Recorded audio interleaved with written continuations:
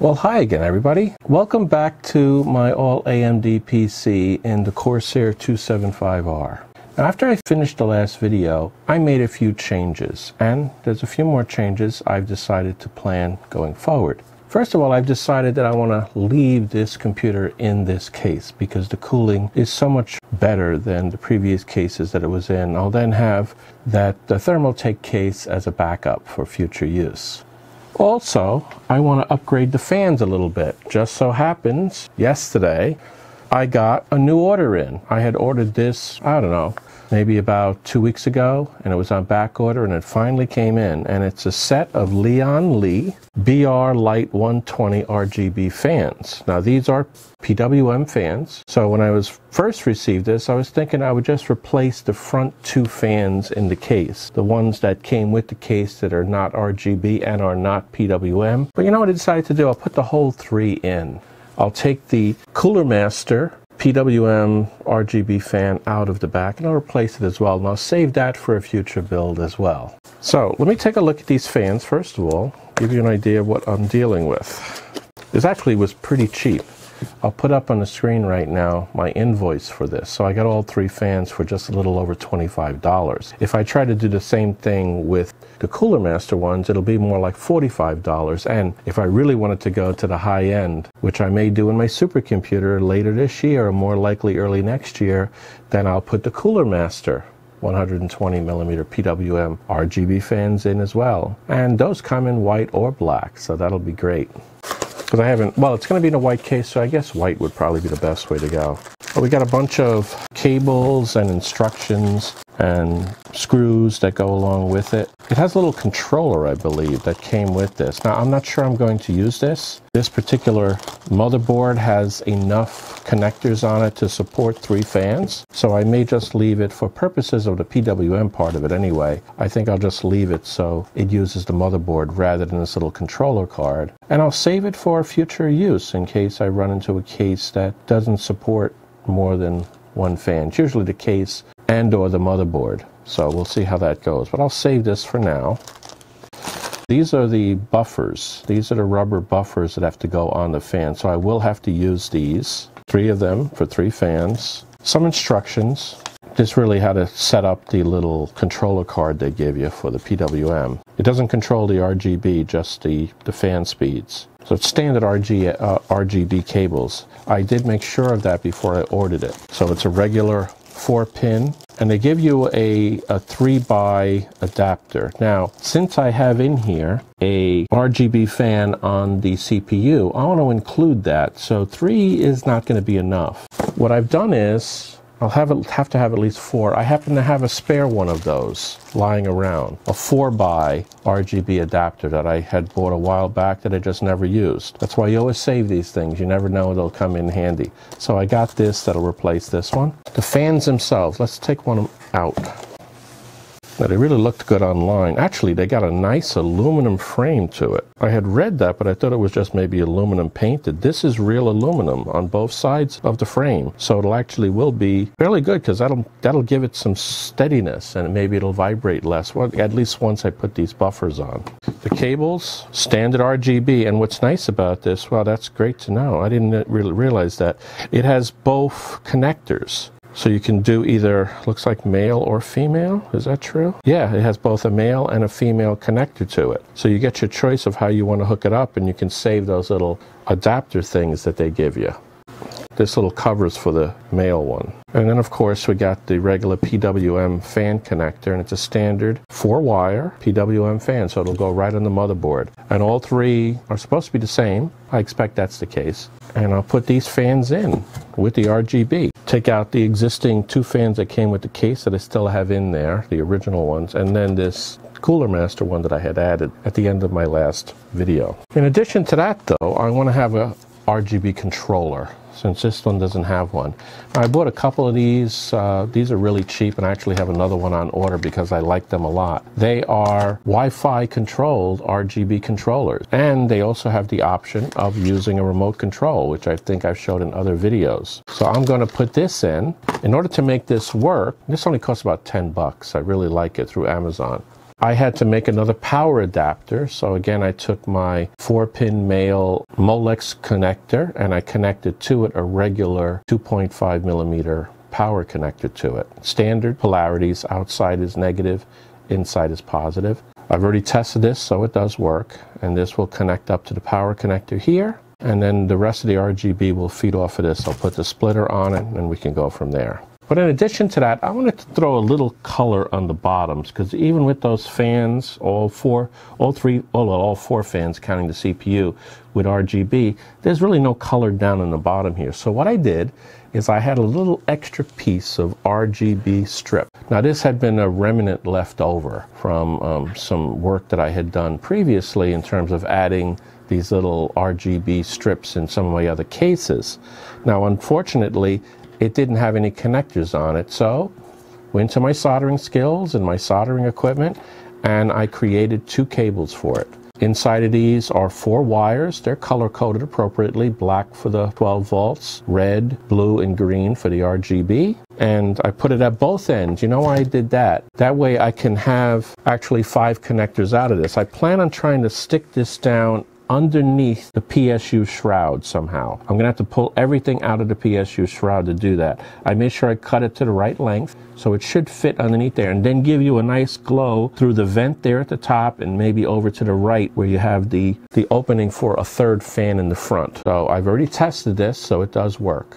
And that way I'll have everybody in sync with the remote control except for, unfortunately, the CPU fan. There is no easy way with this particular motherboard, and I think most motherboards, to actually take over control from the motherboard itself. So the RGB that's along the trace end of the motherboard over to the right here. If you look at it carefully, there's a little bit of a trace RGB over here on the side of the motherboard right there on that edge. You can't control that. You can't take over from the motherboard. I could actually load the software and control that, and then I could connect all the RGB to the motherboard, but then I can't remote control it. So you can't get everything. So I'm going to go with the remote control for everything except for that little strip along the side there.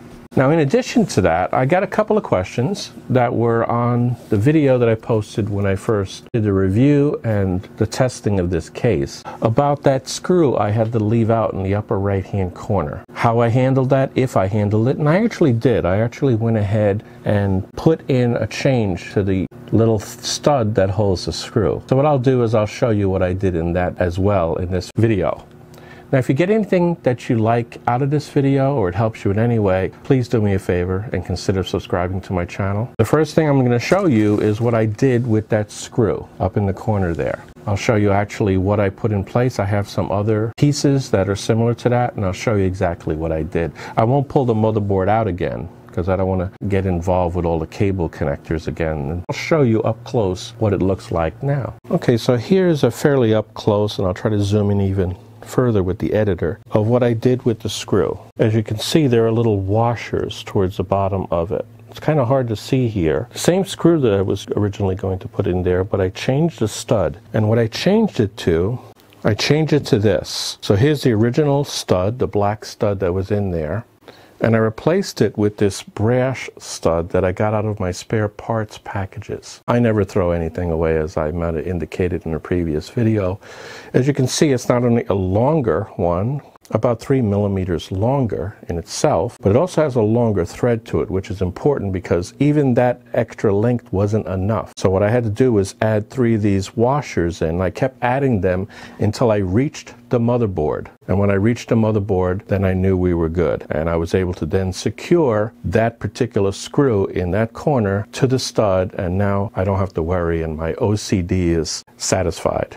Now I'm going to move on to installing the new fans and the new RGB. Oh, by the way, the reason I wanted those washers underneath the stud was that way I know what's going to happen. I'll forget that I had made this case mod if I ever touch that again. if I ever take the motherboard out, for example. I don't want to have it between the motherboard and the stud because when I take the screw out, then I'll have washers falling all over the place, especially with the power supply not too far away there. That's not a good idea. So that's why I did it that way. Anyway, let me prepare pair of fans. And what I'll do is I'll speed through this uh, on the video so that it doesn't waste any, any particular time. Now, the actual airflow of the fans, let's see if it has an indicator here to show the airflow.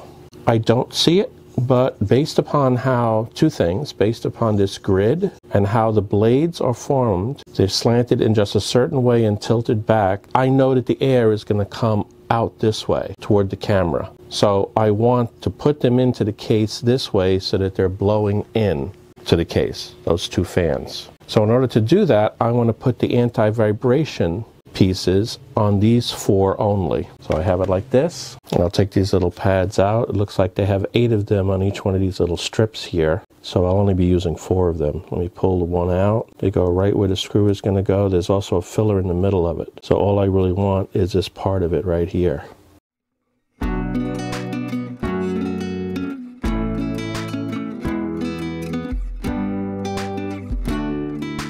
Now, if you'll notice, I actually did this one in reverse, the last one, because this is the one that's going to be blowing out. So in order for that to happen, I'm going to be putting it into the case this way, the top back of the case, as you recall. So it's going to replace this fan here in the back. And as a result, it has to be this way, just like the existing one is.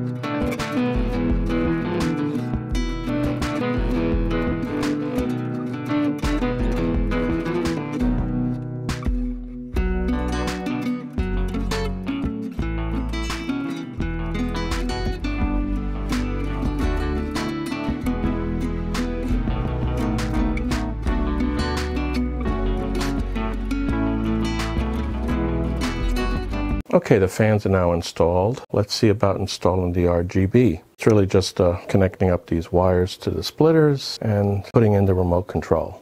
Well, before I do that, I got to pull this stuff out of here. So I'll have to go ahead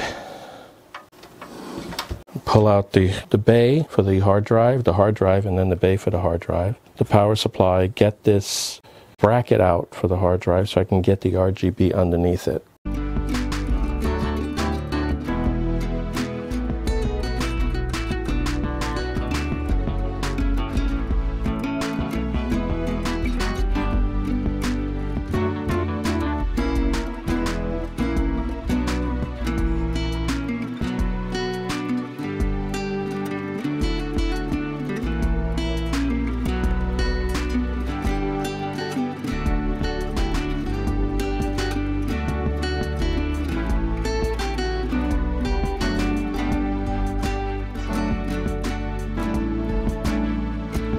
Okay, now I'm trying to get the RGB hooked up. I've got the controller here. I'm going to plug in this Molex into this one exposed, and I intentionally left it that way so I could get to it very easily. So all I have to do is plug this Molex into here. There we go, that's good enough. And then this has got to be secured. So what I'm going to do to secure this, I've already got the uh, 4 by splitter on it. This is very loose, so I'll just put the double-sided tape to hold it all in place. So I got some double-sided tape here.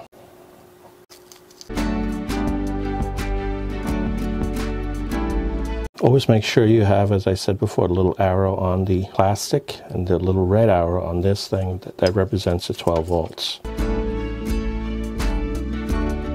By the way, if you ever want to tighten a tie wrap, you take the cutters and you just sort of touch it just to hold it and you pull back just a little bit and you do it a couple of times. That sucks it right through and usually it breaks just like that.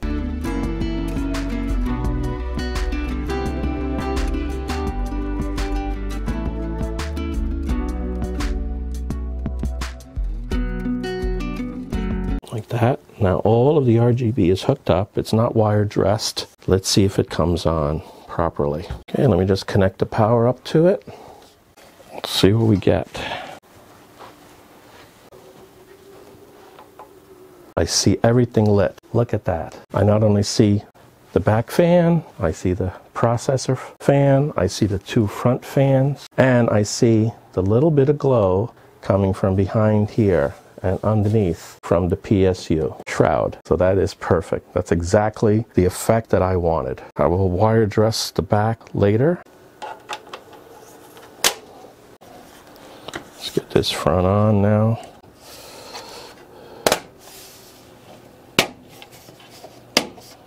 There we go. Get the front glass on.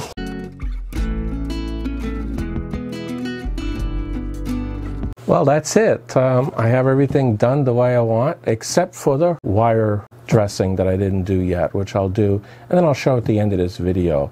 But right now the back is a mess. But I have everything connected. As you can see, I got the effect that I wanted. All the fans are exactly as needed, all four of them. And then I have this little glow in the bottom that's coming from behind the, where the uh, PSU is, from the, inside the shroud, and then over to the right, just a little bit, just a touch, which is exactly what I wanted. I've, of course, as I said before, I can't change what the motherboard is doing. There's no way for me to take control of that. And it's all under remote control now. I just realized I did not do the tear. So let me go ahead and do that now for everybody because I know that's an important thing for everybody to be able to see that tear. So let me peel off the edge here, get around that screw. Everybody ready?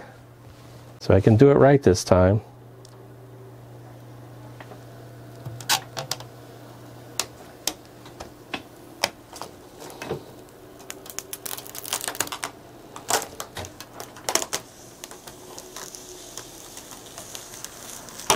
Not bad at all, except it, I left the screw a little too loose and it popped off. Let's do some system testing right now and see how it performs. Well, in terms of the noise testing, it didn't change that much. It got 1 dB louder, which is what's expected when you have PWM fans. Now, in terms of the heat testing, it actually cooled down a little bit. It went down about 6 tenths of a centigrade, which actually is an improvement. Again, what you'd expect to see when you put in PWM fans.